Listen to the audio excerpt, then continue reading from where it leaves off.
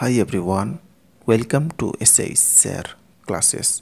Today in this video we have to draw a line of length 2.3 centimeter in easy way. So please watch the video till the end.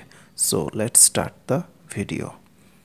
First of all I'm going to use scale and here I'm going to use pen but you have to use pencil when you are going to draw this line okay.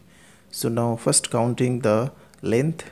So this is starting 0 so first marking this.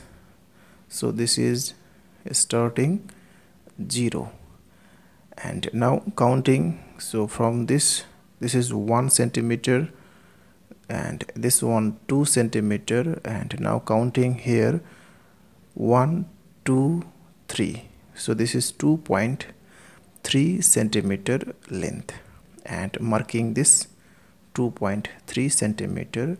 Next joining this line and taking two point on both sides so taking point here a and here b. So the line ab is a line of length 2.3 centimeter.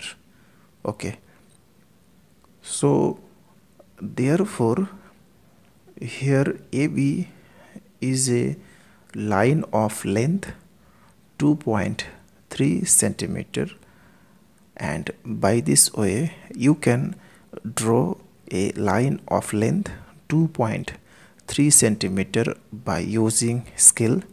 So that's all. Thanks for watching. If this video is helpful to you then please share it with your friend and classmate. That's all. Thanks and share it